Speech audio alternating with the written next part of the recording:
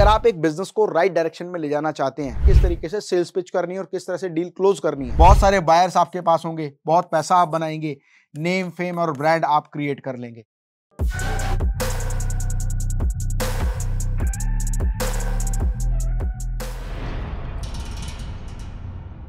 Hi friends मेरा नाम है डॉक्टर अमित माहेश्वरी मैं सीईओ एंड फाउंडर डायरेक्टर हूँ मेटास ओवरसीज लिमिटेड कंपनी का। हमारी company stainless steel modular kitchen की मैन्युफैक्चरिंग एंड एक्सपोर्ट करती है। आज पूरे भारतवर्ष में हमारे फ्रेंचाइजी और डीलरशिप शोरूम्स हैं। एक बिज़नेस को देखने के बाद ना, एक युवा के मन में एक विचार आता है कि यार बिज़नेस करना बहुत बढ़िया है। ना किसी के अंदर काम करना है, ना ही कोई टाइम की बाउंडेशन है और पैसा भी बहुत अधिक होगा। जॉब में तो प्रॉब्लम क्या है? एक लिमिटेड सैलरी है बाउंडेड टाइम है और दूसरे की गाइडेंस के अंतर्गत और लीडरशिप के अंतर्गत मुझे काम करना पड़ेगा। मैं अपने जीवन को वैसे नहीं जी पाऊँगा जैसे मैं जीना चाहता हूँ। तो ये तो बहुत अच्छी बात है। कहते ना कि ये एक ग्लैमर साइड ऑफ़ बिज़नेस है, जिसको देखकर लोग आकर्षित होते हैं और डिसाइड कर लेते हैं कि मुझे बिज़नेस करना है। लेकिन बिज़नेस की एक डार्क साइड भी है। बिज़नेस हो या प्रोफेशन हो, दोनों में ही वो डार्क साइड इंप्लीमेंट होती है। ज़रूरत है उस डार्क साइड को समझने की, ताकि जब आप बिज़नेस में आए तो आप उन चीज़ों से हार ना माने। उन चीज़ों का डट के सामना करें और अपने बिज़नेस को ठीक तरीके से एस्टेब्लिश करें। तो हम बात करेंगे डार्क साइड ऑफ़ बिज़नेस और प्रोफेशन। नंबर वन, अगर आप एक किसी भी चीज़ में एक्सपर्ट हैं और आप ये सोचते हैं कि एक्सपर्टीज मेरी इतनी है कि मैं दूसरे के लिए बेहतर काम कर रहा हूँ तो क्यों ना मुझे अपना ही बिज़नेस कर लेना चाहिए? तो यहाँ आपको डार्क साइड ऑफ़ बिज़नेस को समझना बहुत ज़रूरी है। कई बार देखा गया है कि बहुत सारे लोग अच्छे प्रोडक्ट मेकर होते हैं, बहुत अच्छा प्रोडक्ट डेवलप करते हैं, जैसे प्रोडक्शन यूनिट में वो काम कर रहे होते हैं तो उनको लगता है मैं नया प्रोडक्ट डिज़ाइन भी कर लेता हूँ नए प्रोडक्ट की मैन्युफैक्चरिंग भी कर लेता हूँ। तो मैं क्यों ना अपना बिज़नेस शुरू कर लूँ? या आप एक अच्छे शेफ हैं, आप सोचते हैं कि मैं इतना अच्छा खाना बनाता हूँ और लोग मेरे खाने को पसंद करते हैं तो मैं जॉब करने के अलावा खुद का अपना रेस्टोरेंट खोल लेता हूँ। या आप अच्छे डॉक्टर हैं इंजीनियर हैं चार्टर्ड अकाउंटेंट हैं आर्किटेक्ट हैं और आप किसी कंपनी के अंतर्गत काम कर रहे हैं, अपनी प्रोफेशनल सर्विसेज़ को दे रहे हैं और आपको लगता है कि मैं इस प्रोफेशन को अपना बिज़नेस बना लूँ तो शायद मैं ज़्यादा पैसे कमा सकता हूँ। या आप अच्छे सेल्समैन हैं। बहुत सारे बिजनेसेस में अच्छे सेल्समैन होते हैं ना, उनके मन में भी एक ये प्रश्न होता है, यार मैं अच्छा बेच सकता हूँ तो क्यों ना मुझे अपना ही बिज़नेस कर लेना चाहिए? तो फ्रेंड्स, यहाँ ज़रूरत है आपको बिज़नेस की डार्क साइड को समझने की, क्योंकि अगर आप ये बात ठीक से समझ लेंगे, तभी आप सही तरीके से निर्णय ले पाएँगे कि आपको जॉब करनी है, बिज़नेस का शुभारंभ करना है। क्यों? क्योंकि जब आप एक बिज़नेस का शुभारंभ करते हैं when start starts with energy motivation hope faith and trust आपको जब भी एक बिज़नेस का शुभारंभ करना होता है ना, और करने का निर्णय आप ले लेते हैं, और करना शुरू कर देते हैं तो आपके अंदर एक अच्छी एनर्जी होती है, मोटिवेशन होता है, होप होता है फेथ होता है और आपको एक ट्रस्ट होता है कि आपका जो प्रोडक्ट या सर्विस आप देने वाले हैं ना, वो मार्केट में रॉक ऑन करेगा। मतलब ऐसा धमाकेदार काम तो कोई और कर ही नहीं पाएगा। या जो भी सर्विसेज़ आप दे रहे हैं, वो दुनिया की सबसे बेहतरीन सर्विस होने वाली है। ऐसी सोच रखने के बाद ही तो आप बिज़नेस का शुभारंभ करते हैं। कभी ऐसा देखा गया कि आपके मन में वो बिज़नेस चलेगा ही नहीं और आप बिज़नेस शुरू कर लें? कॉन्फिडेंस ये कहता है कि हाँ भैया, ये तो धमाका करेगा। और इसी बिज़नेस को मुझे करना है और इसी में मुझे अपनी लाइफ को सेट करना है। आपको लगता है कि आप एक क्रिएट करेंगे क्या? मैसिव सेल आप जब काम करेंगे ना तो इतनी सेल होगी जितनी सेल किसी कॉम्पिटिटर की आज तक नहीं हुई है। बहुत सारे बायर्स आपके पास होंगे, बहुत पैसा आप बनाएँगे नेम फेम और ब्रांड आप क्रिएट कर लेंगे। इन्हीं सभी पॉजिटिव उम्मीदों को देखते हुए एक व्यापारी, व्यापार का शुभारंभ करता है या एक स्टार्टअप बिज़नेस का स्टार्टअप शुरू करता है। लेकिन हमेशा ऐसा होता नहीं है। कई बार क्या होता है कि इस एनर्जी के साथ जब आप काम करना शुरू करते हैं तो मार्केट के रिज़ल्ट वो नहीं आते जो रिजल्ट्स आपने सोचे हुए होते हैं। या आपके पास जितना फाइनेंस होता है, वो इतना एनफ नहीं होता है कि उस फाइनेंस के बिहार पर आप बिज़नेस को रन कर पाए। और जब तक बिज़नेस लॉस में चल रहा होता है, एक समय ऐसा आता है कि आप बिज़नेस का वाइंड अप करने का समय आ जाता है। अब ये बिज़नेस वाइंड अप क्यों होते हैं? क्यों कहते हैं कि अब बिज़नेस हमारा रैप अप हो गया?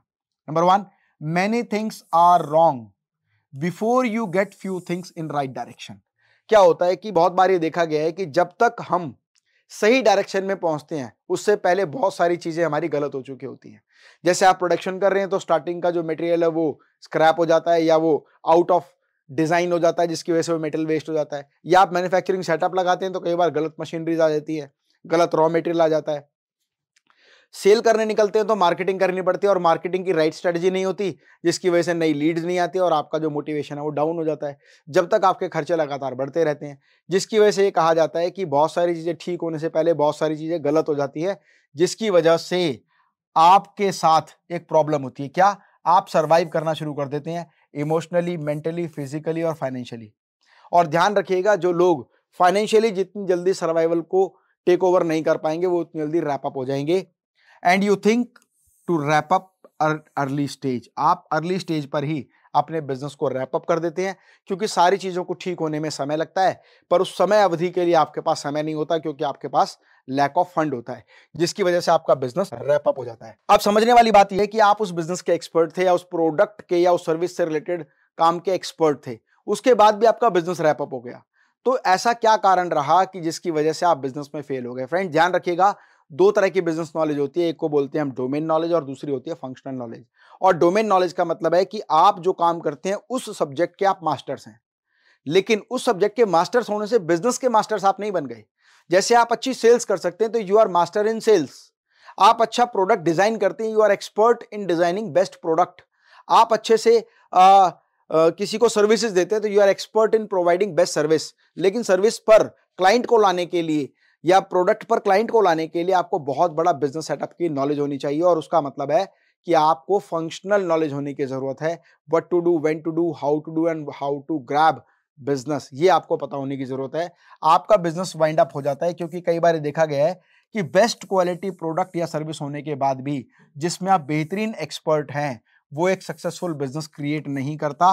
कारण क्या है? You are expert in domain knowledge but you are not expert in functional knowledge business में सक्सेस हासिल करने के लिए आपके पास डोमेन नॉलेज हो या ना हो, लेकिन आपके पास फंक्शनल नॉलेज होना ज़रूरी है, क्योंकि अगर आपके पास बेहतर फंक्शनल नॉलेज है ना तो डोमेन एक्सपर्ट तो आपको आसानी से मिल जाएँगे। अब समझने वाली बात यह है what you need to know आपको क्या ऐसी बातें जो जाननी चाहिए? अगर आप एक डोमेन के एक्सपर्ट हैं और बिज़नेस को नेक्स्ट लेवल ले जाना चाहते हैं या स्टार्ट करना चाहते हैं और स्टार्ट करने का उसमें सफलता हासिल करना चाहते हैं।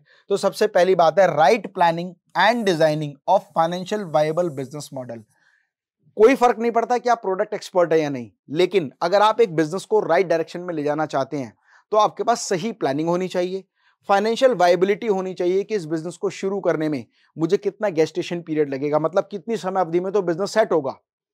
फिर कितने समय तक आप ब्रेक इवन तक आएँगे? नो प्रॉफिट नो लॉस क्योंकि बिज़नेस शुरू करते ही पहले दिन से बड़ा रिवेन्यू नहीं आएगा। तो कितना समय अवधि लगेगा मुझे नो प्रॉफिट नो लॉस पर जाने के लिए? पूरे बिज़नेस का ऑपरेशनल कॉस्ट क्या होगा? और कब मैं अपने प्रोडक्ट को मार्केट में लॉन्च करने के बाद ऑपरेशनल कॉस्ट को कवर कर लूँगा? और कब मेरा बिज़नेस अच्छे प्रॉफिट पर आएगा?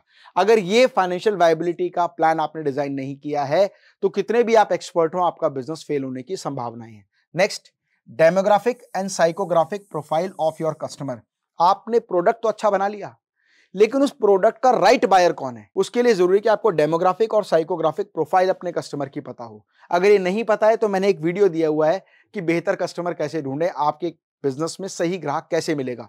उसको आप ज़रूर देखें कि आपका राइट बायर कौन है, ताकि आप प्रोडक्ट या सर्विस उस कस्टमर तक पहुँचा सके और अच्छे से सेल ग्रैप कर सके। Next right marketing strategy to generate lead for business friends अगर आप ब्लाइंड मार्केटिंग करेंगे ना, कि आप मार्केटिंग में पैसा लगाए जा रहे हैं, कहीं से रिज़ल्ट आ रहा है, कहीं से नहीं आ रहा तो जहाँ से रिज़ल्ट नहीं आ रहा, वहाँ पैसा वेस्ट हो रहा है।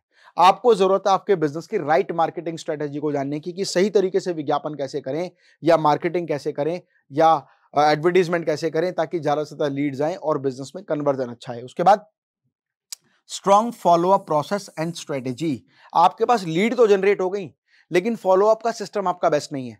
तब भी आप ज़्यादा अच्छा बिज़नेस जनरेट नहीं कर पाएँगे। ये बहुत बड़ी dark side of the business है और systematic sale process to close the deal problem क्या है? लीड बहुत सारे लोग जनरेट कर लेते हैं, पर उनको यही नहीं पता कि क्लाइंट के साथ सही तरीके से डील को क्लोज कैसे करना है। मतलब किस तरीके से प्रोडक्ट पिच करना है, किस तरीके से सेल्स पिच करनी है और किस तरह से डील क्लोज करनी है। और डील क्लोज करने के बाद प्रोसेस मैनेजमेंट आपके बिज़नेस को ठीक तरीके से चलाने के लिए क्या क्या प्रोसेस हैं?